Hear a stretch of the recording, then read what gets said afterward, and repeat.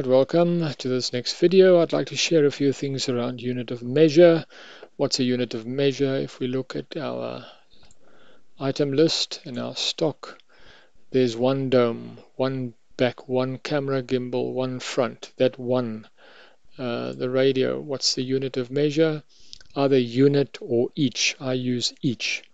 So most of 99.9% of my stock items are all I use a nut and I use a screw uh, and I use a radio, one unit. There's one or two exceptions. Uh, there is one item that comes two in a pack and these are props, all right? Now, it's not really, strictly speaking, a correct application because these props aren't the same. The one is clockwise and the other one is counterclockwise.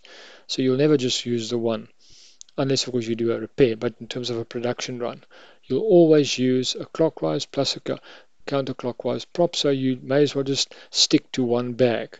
So in my bomb I will have two bags for props instead of four props for a hexacopter. For a uh, for a quadcopter for a hexacopter copter I'll have three bags which will give me six props. All right? So it's not strictly speaking applicable to this, but it does show the principle. All right, so what do we do? We go to unit of measure and we say one box has got two units in it. All right. So you set this up per item. The next item might be three units in a box. So this setting strictly is for um, this item. And you'll go ahead and you'll do a purchase. I'm not going to go through this whole thing. Um, we've done this um, on a previous video. I don't want to stretch this out too long. Um, fill in this invoice. We want to update the stock. And then the important bit, if we click on here and we're saying, oops, 9443, it brings up that we say we're purchasing one. All right. But instead of each, we say we're buying a box of these. All right, and then you can see it goes and fetch this conversion factor. So it'll put two into the stores. Now, if we complete the transaction, it'll fill it in. I'm not going to do that now. The same, we can effectively see it uh, with the next example, which I'd like to share with you, and that is 3D printing filament. If we just get that up on the screen, uh, filament, there we go. Uh, now what we do is in filament our stock unit of measure is grams. Why is that? Because um, in the design, this is one of the designs, I've got a little bit of video at the end to show how we print this. Um, and if we put it through the slicer, then it tells you it's going to use 3 grams, it's going to take 34 minutes. All right, so we actually go ahead and we set up our bomb. Uh, SKU 40015, that's that part. That's the LiDAR sensor cradle front, that's the object avoidance sensor cradle. Um, and there you can see we stipulate, I've actually made it 35 minutes, and we use 3 grams of material. So you can set up your bomb pretty um, accurately. Now there is a different way of setting up the bomb and making this default so you can actually have one bomb for many 3 3D printing. The way I've done it, I'll have to have a bomb for each and every single 3D printing part. Um, there is a way that one can possibly do that. I must just investigate that. Perhaps I'll make a video about that later. But for now, this is spe specific to this part. All right, so um, let's first of all purchase this um, item. I've already done this. I'm just going to show you the purchase invoice. Uh, I bought it here. There we go. And here we say we're buying the printing filament. We're buying one of them, one kilogram roll and then important click that down drop down there you'll see the purchase unit of measure is kilogram and then it goes and fetches the conversion between gram and kilogram, which is a thousand. Now, where does it get that? All right, but it auto fetches this. It says stock unit of measure is gram. This guy is buying a kilogram. The conversion is a thousand. So let me just first go and show you the stock, and then I'll go and show you where you set this up as a global. Uh, the stock ledger on stores.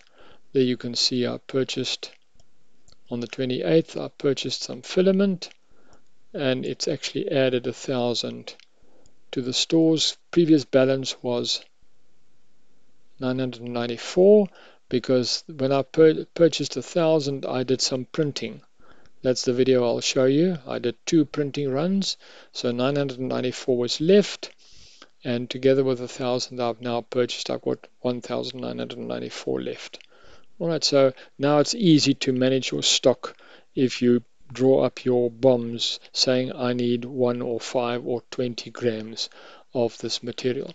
Right, where do you put this conversion factor? You say conversion factor list. It brings up all the all of these are def, uh, default in the system all right? From gram to ounce pound to ounce etc etc ampere to kilo ampere for one reason or another they don't have kilogram to gram. So you just click new i'm not going to do it now. And it's rather simple. You just enter three things kilogram gram and a thousand. How does it work? There are there's a thousand of these in there all right so whatever is here it's of that in there and that's as simple as that. So the difference between the two is this is a global um, relationship. I mean, it's not going to change. There's, there'll always be a thousand grams in, in a kilogram. All right, so you can make this a global conversion factor. When it comes to the prop, props in a bag, the one bag might have two, and you buy from a different supplier, they might have four. So you, you better to do that from an item point of view, and don't do that on a global because not all boxes contains four props. So you might have a problem there. All right, so hopefully that um, gave you some insight as to how this works and um, you perhaps have an idea of how to apply it in your own uh, application. I'm just going to show you a quick video of how we did the printing. You'll notice right in front the Raspberry Pi. It's a Raspberry Pi 400. Um, I'll start the video now. It's just too quick. I don't want to um, find myself falling over my tongue. Raspberry Pi 400, which is a Raspberry Pi in a keyboard. Everything's in the keyboard, and I use that together with a screen to access ERP Next. Here in the front, the Raspberry Pi. There's the printer. And then, of course, I'm using Ethernet over power um, to connect to the Raspberry Pi and the entire network. There's the MikroTik Ethernet over power. That's how I access ERP Next. And there you can see the job card counting. Right, I've got a better close-up of that job card for you there. That's what the job card looks like. Alright, and you can see it's counting, so it's actually busy printing. Alright, that's it. Hope that you found that helpful. See you in the next video.